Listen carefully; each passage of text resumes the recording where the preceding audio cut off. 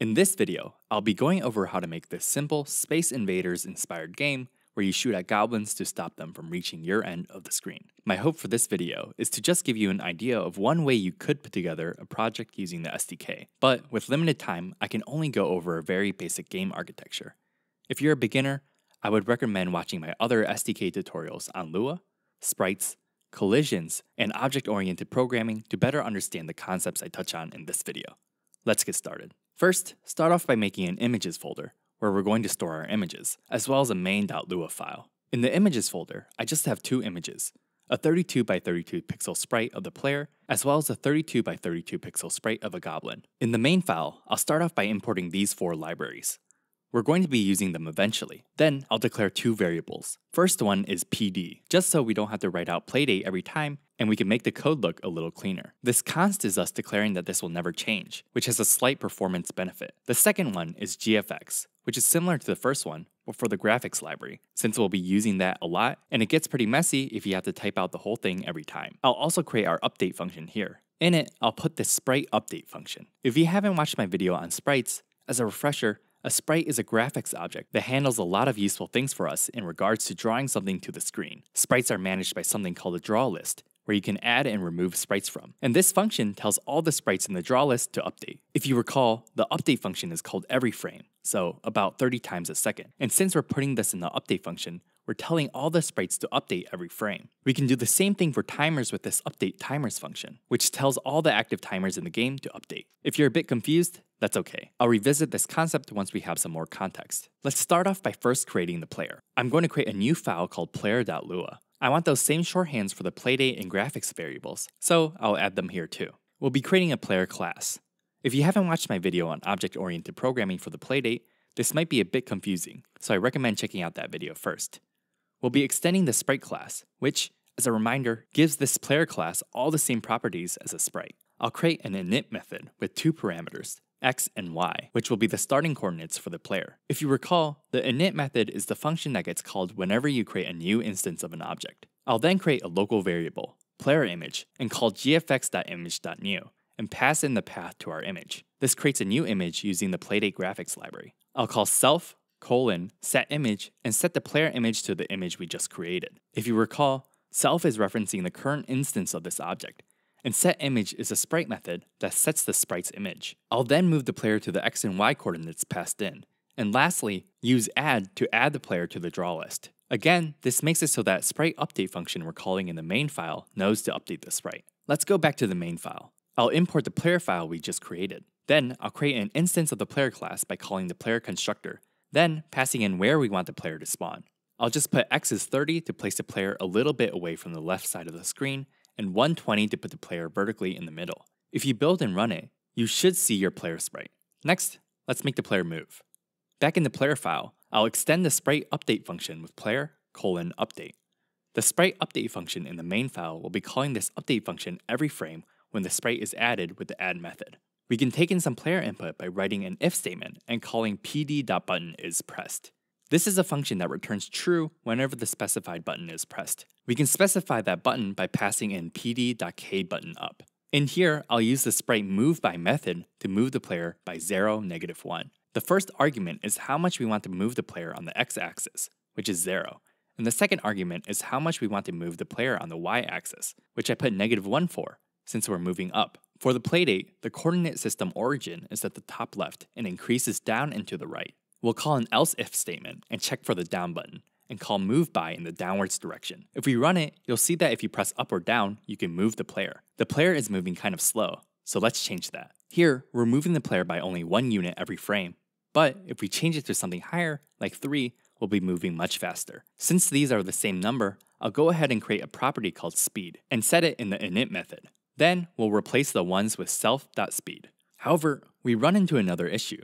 The player can move indefinitely outside of the bounds of the screen. Let's implement a very basic fix. You can check the y position of the player using self.y. So let's write an if condition when we're moving up. We'll only move the player up if their y position is greater than 0. When we're moving down, let's only move the player down if the y position is less than 240, which is the height of the screen. If we run this, we'll see that the player can't move past the top and bottom of the screen. You'll notice that half the player is cut off though, which is because the X and Y position corresponds to the center of the sprite. I think it's fine to leave it as is, but if you don't want that, you can consider either adding an offset to the if conditions or using the playdate collision system. Next, let's create a projectile for the player to shoot. I'll create a new file called bullet.lua and create a bullet class that extends the sprite class. In the init function, we'll take in an x and y position to spawn the bullet at, as well as the speed we want the bullet to travel at. We'll be drawing the bullet using code, since it's just a simple circle. I'll create a local variable bullet size with the radius of the bullet, which I'll set to 4. Then, we can create a new image with gfx.image.new. Instead of a path to an image, we can instead pass in two arguments, which are the width and height of the image. I'll set it to the diameter of the bullet, which will just be double the radius. We can draw to the image using push context. I go over exactly how push context works in my video on sprites, but essentially, push context allows us to draw directly onto an image instead of the screen. We'll use the Playdate graphics library to draw a circle using the draw circle at point function. The first two arguments are the x and y position, which we can just set as the radius and the last argument is the radius itself. Lastly, we can pop the context. Bullet image now contains an image with a circle of radius 4. We can set the sprite image to this image we just created. Next, I'll just set the speed to a speed property on the object, move the bullet to the x and y position, and add it to the draw list. To make the bullet move, we'll again use the update function. This time, instead of move by, we'll actually use the move with collisions method since eventually we want to add collisions to the bullet to allow it to hit our enemies. Move with collisions takes in two arguments, the x and y positions to move the sprite to. Since this is an absolute position and not a relative position, we'll pass in the position of the bullet at first with self.x and self.y. Then, we can add self.speed to the x position to move the bullet to the right by whatever speed is every frame. You need to add a collision rect to the sprite in order to use move with collisions. We can do that by writing this. I'll explain what this is doing later in the video, but let's move on for now. We can go to the player script and import the bullet file at the top. Then, in the update method, I'll create a new if statement to check if the A button has been pressed. If so, we can spawn a bullet by calling the bullet constructor and passing in our three arguments. I'll just use the player position as the spawn position, and 5 as the bullet speed. If we build and run the game, you'll see when I press A, the player shoots out a bullet. Next, let's create our enemy. Again, we'll create a new enemy class that extends the sprite, and an init function with x and y parameters, as well as a move speed parameters to dictate how fast the enemy will move. We can pretty much do the same thing as a player init function, where we create an image with a path to our enemy image. Mine is just called Goblin. Then, setting the sprite image to that image, moving the sprite, and adding it to the draw list. Lastly, I'll store the move speed into a move speed property. To make the enemy move, we'll create an update function and use the move by method to move the enemy left. I'll set the x amount to the negative of self.movespeed and the y as 0. Let's test this out by importing the enemy script in the main file and calling the enemy constructor. I'll spawn the enemy at 400 120 with a move speed of 1. If you build and run, you should see the enemy moving. Currently, if you shoot at the enemy, nothing happens, so let's change that. I'll first add a collision box to the enemy. We can do that by using the set collide rect method. I'll call it in the enemy init function. The first two arguments are where we want the collision rectangle to start, so we'll set that to 0, 0 to denote the top left of the sprite. Then, the next two arguments will be the size of the collision box. We can use the handy getSize method that returns the width and height of the sprite for that. Lastly, we don't want the enemies getting stuck on each other, so we'll create a collision response function and return overlap. I go more into specifics about that in my video about collisions. In the bullet script, we'll handle the collision event. Move with collisions actually returns four things actual x and actual y, which are the actual x and y position that the sprite ends up after taking collisions into consideration. Collisions, an array of things that the sprite has collided with, and length, the length of that collision array. We'll capture them into local variables like so. We can check if a collision even occurred by just checking if the length of the collision array is greater than 0. If so, we'll loop through the collisions array. Since at any point, the bullet could technically be colliding with multiple enemies at once, and the only things we collide with are enemies, the collisions array pretty much just contains a list of all the enemies the bullet is touching at any given moment. I'll write for index collision in pairs and pass in the collisions array, then close off the for loop. Collision now contains information about a single collision event with an enemy. This collision is actually a table with multiple fields, which you can find more information about in the SDK documentation. The field we're concerned with is Other, which contains the sprite that we're colliding with. So I'll access that using square brackets and store it in a local variable called collided object. We can do a check to see if collided object really is an enemy by using the isa function, and passing in the enemy class. We don't really need to do this since there's not really anything that's not an enemy, but you would probably need to check in a more complex game. If the check returns true, we'll remove the enemy from the draw list by using the remove method. Then, after the for loop, we can remove the bullet itself using the remove method on itself. Let's try this in game. If you go to view sprite collisions, you should be able to see the collision boxes, and if I shoot the bullet at the enemy, it disappears. One small thing to fix is that the bullet actually flies off the screen forever, and you'll eventually have tons of bullets off screen that could cause performance issues or crash your game. We can fix this by writing an else if statement in the collision code and checking if actual x is greater than 400, which is the width of the screen, and removing the sprite if it is. Let's add a spawning system into the game to spawn in the enemies. I'll create a new file called enemyspawner.lua. We'll import the enemy file and define our playdate constants, as well as create a spawn timer local variable. I'll add a start spawner function that will call at the start of the game. We're going to be using random values, so I'll seed the random function with math.randomSeed and pass in the current time. The math library comes by default with Lua and contains many useful math related functions. Random seed mixes up the randomness to make the game different every time. Let's call a create timer function that we'll make next. In our create timer function, let's generate a random number of milliseconds to wait before we spawn the next enemy using the math.random function. I'll just put between 500 and 1000 for now, to wait between a half second and one second.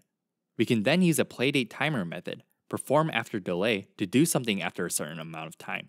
The first argument is how long we should wait, which I'll set as spawn time. The second argument is something special called a callback function, which is basically a function that can be called at a later time, which in this case is done after the delay. I'll create this function like so, and call create timer again to keep the timer running, and a spawn enemy function that we'll create next. Let's set the timer to the spawn timer variable as well. In the spawn enemy function, I'll first get a random spawn position by using math.random again. This time, I'll just set it between 10 and 230 to be a little away from the top of the screen and a little away from the bottom of the screen as well. We'll call the enemy constructor and set the X position at 430 to be slightly off the screen, the Y position at the random position, and set the movement speed to just be 1. Lastly, I'll create a stop spawner function that checks for the existence of the spawn timer and removes it. Let's try this out. I'll go back to the main function, delete our references to the enemy, and import enemy spawner instead. We'll just call start spawner after creating our player. If we build and run the game, we should start to see the enemies spawning and be able to shoot them. However, there's no scoring system yet, so let's add that in. I'll create a new file called scoredisplay.lua. After adding in our constants, I'll create two local variables, score sprite and score. For the display, I'll use this as an example of working with sprites without extending it into a subclass. Let's create a function called createScoreDisplay. In it, we'll create a new sprite and set it to the score sprite and set the score to 0. I'll also call an updateDisplay function that we'll create later. Let's move it to the top right of the screen by setting the center to the top left of the sprite with setCenter, moving it, and adding it to the draw list. Next, I'll create the updateDisplay function for creating our display image. I'll create the score text by concatenating the string score with the score itself. Next, we can get the width and height of the text by using getTextSize, which we'll use to set the dimensions of our text image. Here, we can go ahead and create the score image. Next, we'll use push context on that score image and draw our text using the drawText function. The first argument is just the string that we want to draw, and the next two arguments are the position, which we'll set to 0, 0. Lastly, let's set the image on the score sprite. Next, we'll create two helper functions. First will be increment score. We'll add 1 to the score and call the update display function. Next will be reset score. We'll reset the score back to 0 and update the display.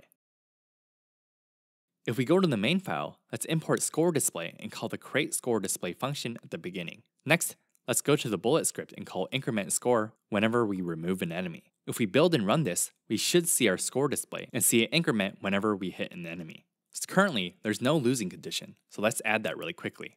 In the enemy spawner script, let's create a function called clear enemies. We'll use the get all sprites function to get a list of all the sprites in the draw list. Next, we'll loop through all the sprites and check if the sprite is an enemy. If it is, we can remove it from the draw list.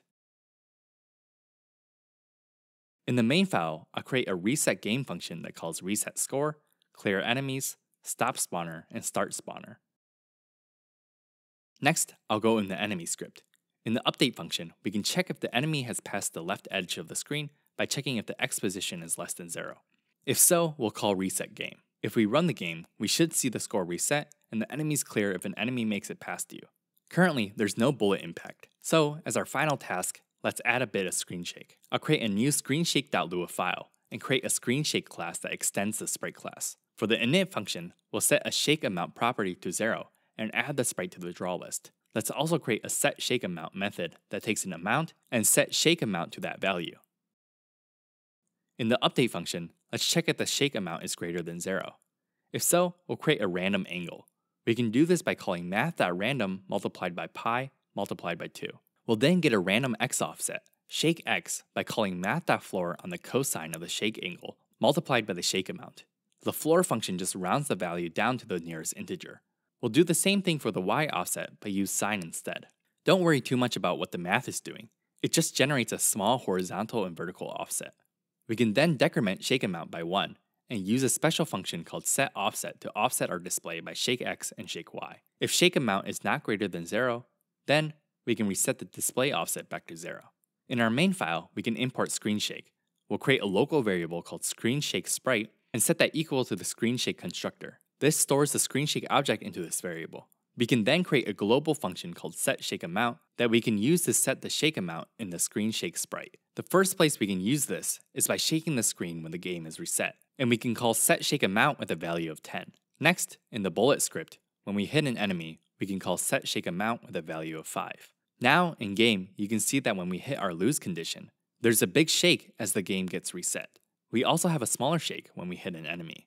Things you could do to extend this code is by changing the spawn time or the enemy movement speed as the score increases, adding a cooldown to the player shooting, adding a win or lose screen, different enemy types, and sound effects.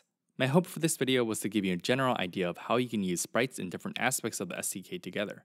Like and subscribe if you thought this was helpful in some way and you would like to see more Playdate related content. Thanks to all my Patreon supporters for making videos like this possible, and see you next time.